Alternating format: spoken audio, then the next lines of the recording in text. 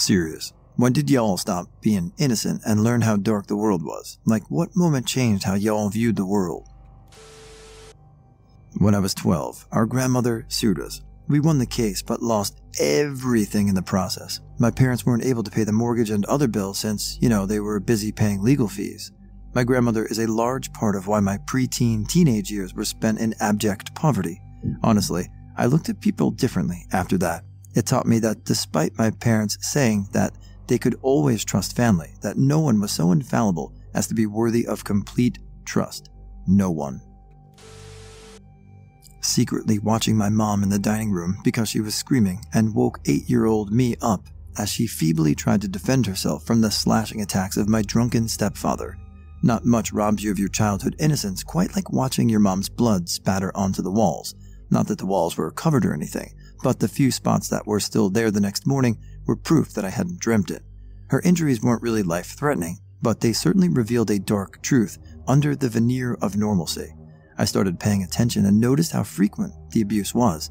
She eventually left him, but it left her more psychologically damaged than physically harmed.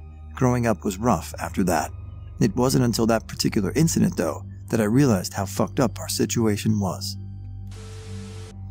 My high school had maybe half a dozen bomb threats one year. Now, as a student, I didn't particularly mind. It got me out of school, and that was great. But we had a big assembly in the gym where the principal told the student body that they were going to find the perpetrators and that they would be permanently expelled from school, charged by the police, etc. They did find the two guys calling in the bomb threats. Their parents were school board members. They did not get expelled. They did not get charged. They each got a six month suspension with their homework being sent home to them so they could still graduate on time. They were basically rewarded with a vacation because of who their parents were. I didn't need Epstein to learn that money and power can get you out of almost any jam. I learned that shit back in high school. Probably when I was 8, I found out I could upload vids to YouTube and really wanted to belly dance, so I put on a tight fitting shirt and my favorite shorts and belly danced my heart out. Got a ton of comments of praise, which my innocent mind thought meant I was doing a good job. Someone asked for a private video of the same dance, but without clothes. I regret it, but I did it because I was under the impression it was the more traditional way of doing things. Then he blackmailed me for years into doing other nasty things nude for him, saying he would have my parents locked up in jail or would harm someone I love if I didn't send more. Eventually, I just decided screw it. You have been building dirt on me, and it's not going to get easier. Eventually, this has to stop. So I told him I was done doing dirty things for him and blocked him on everything. Nothing more came of it. My belly dance video is down now. I've had therapy, and really thought through it all now, but that was when I learned how dark and scary life can be. Getting a call at 3 a.m. from the coroner to inform me that my mother had passed away. If that wasn't enough, I found out that she had unplugged her insulin pump and downed a bottle of Vicodin. A few weeks prior, she called me to ask if she could move in with me and my girlfriend. Being 20 and barely able to take care of myself, I told her no. Sometimes I still wonder if she would still be around if I would have just let her move in with us. No idea why the hell I'm sharing this after 16 years. Later in my life, considering I was super sheltered growing up, but I was longboarding to work at the time, 15, no car, and good exercise, when I got hit by a car while I was on the sidewalk. I was unconscious for two hours and came to in a pool of my own blood, with my left arm dangling due to a broken collarbone and humerus because my job was calling to see where I was. I was a kid, passed the F out in a pool of my own blood for two hours next to a busy road in my small town where everyone knew one another, and the lady whose yard I was flung into was just sitting there watching me. For how long? I don't know. But I called an ambulance and got whisked off to the hospital. When I called the ambulance, I was smack in the middle of two jurisdictions, so there were two called out. Of course, I could only go in one, but these paramedics were arguing with one another while I'm sitting in a daze covered in my own dried blood. I ended up getting two $3,000 ambulance bills that the insurance didn't cover and that my parents made me pay because they were in no way supportive of my hobby slash transportation. That was my entire college savings that I had made from working under the table since I was 12. My father was big on domestic violence. My earliest memory from like four is him punching through a bedroom door in a drunken rage. But it was when I was nine and he broke a beer bottle over her head because he thought she was fucking her brother, my uncle, if you guessed it was a drunken rage. I hit the panic button on the house alarm and he was screaming we were all going to die tonight when my 14 year old uncle, not the uncle my father thought my mother was having an affair with, and sister were crying in fear after running upstairs. I remembered watching my mother learn how to load up and use a shotgun.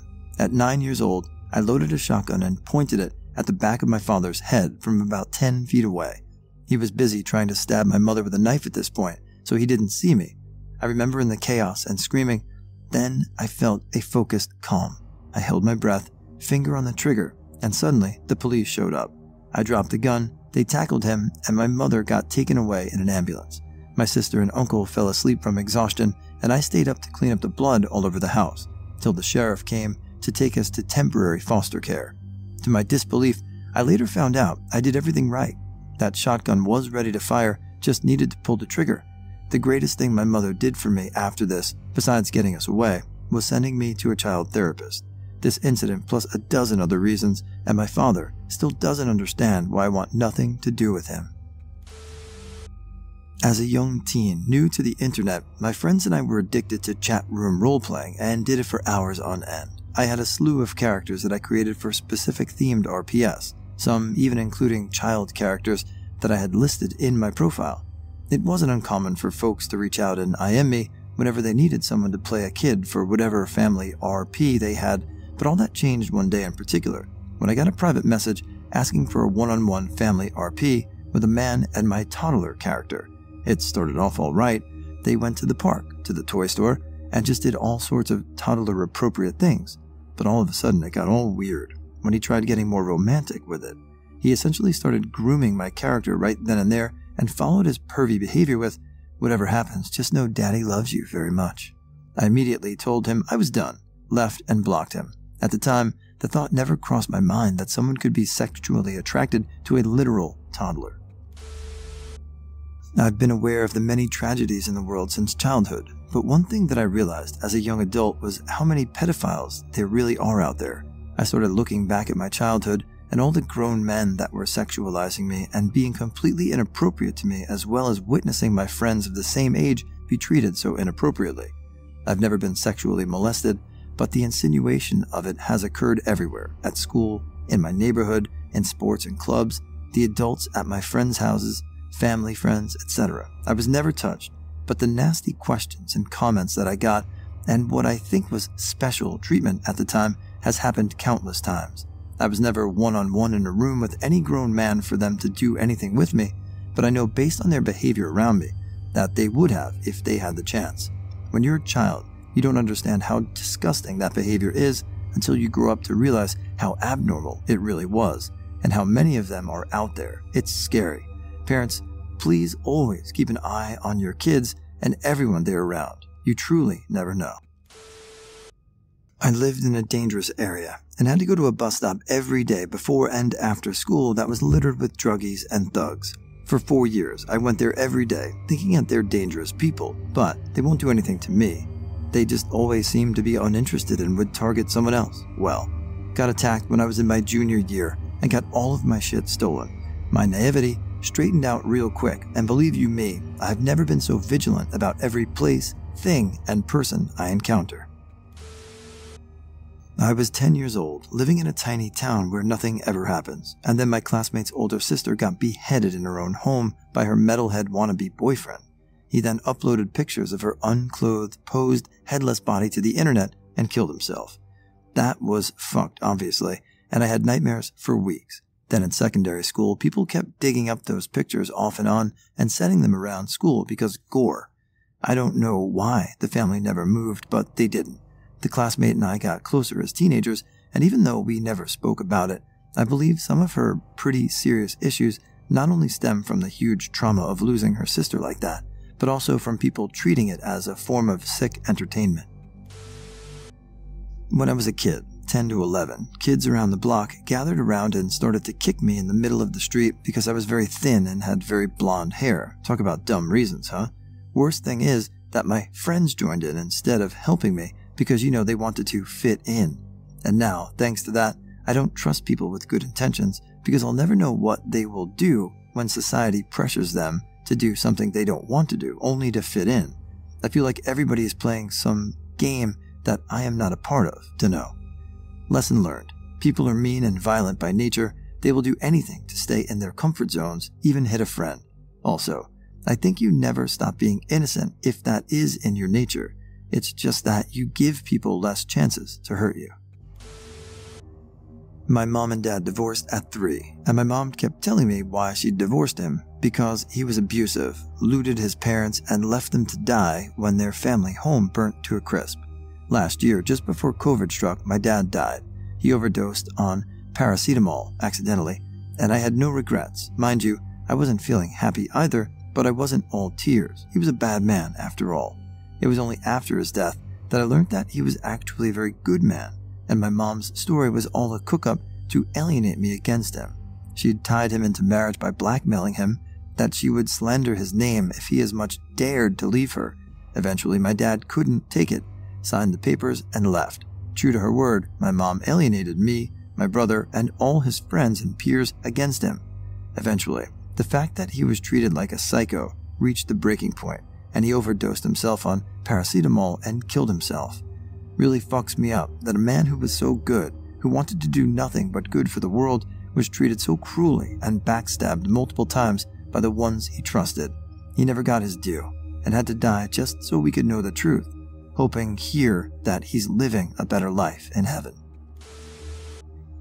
I got addicted to pain pills when I was 19, and it escalated to heroin pretty quickly. Had a 21 year old stripper prostitute shoot up in my car while her one year old child was inside. I hate the stigma associated with addiction. I was lucky enough that I could go to a three to four week rehab. She didn't have that option.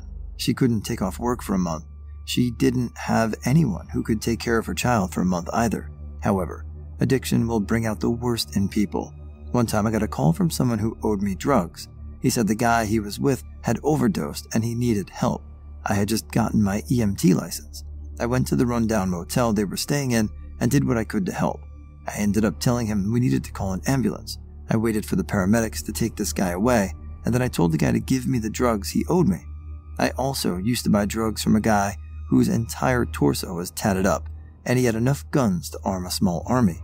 There's other stuff that involves sexual violence, a lot of which involves children, but I'm careful about who I share that information with. In my experience, the world is always darker than you think it is. There are no limits to man's depravity. I grew up in suburbia, around straight laced family that is opposed to guns, but I've stayed in places where I tucked a pistol in my waistband before I went out. If you gaze long enough into the abyss, the abyss will gaze back into you. Some of my lessons were learned late. I think I was 33 or 34 when I witnessed a coworker sabotage some of my equipment on camera, get shown the replay in front of my spineless boss, and him denied that it wasn't him. Like, dude, you're on camera. That's totally in the security footage. My boss just said, well, he says it's not him.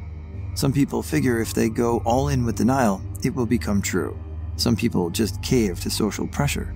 Of course, I have watched HR convince a woman that an incident where a supervisor placed his hand in her knee and tried to feel her up didn't happen.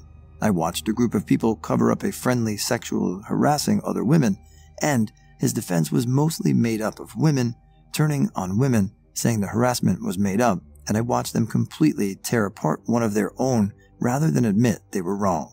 Recently, how people will cling to the ignorance and direct proof with COVID. I mean, I knew dumb people existed, but not 40% of the country. I've had discussions where it is evident that they will take what they feel is right over facts, science, and direct proof. It makes me wonder if you could have a shitty version of the Matrix where there's no mind controlling machinery, but just people in denial. That's totally not a superior robot race controlling me, liberal plot. I never had many guy friends in elementary and middle school. I always hung out with the girls until I met this one guy who was in ninth grade while I was in eighth. We talked for about three weeks and quickly jumped into a relationship where everything was rushed, and since I was never in a serious relationship, I just thought it was normal. Within 10 days of our relationship, he forced me to have sex with him, and no matter how many times I told him no, he still found ways to guilt trip me. He told me I didn't love him if I didn't have sex with him, and I didn't want to lose him.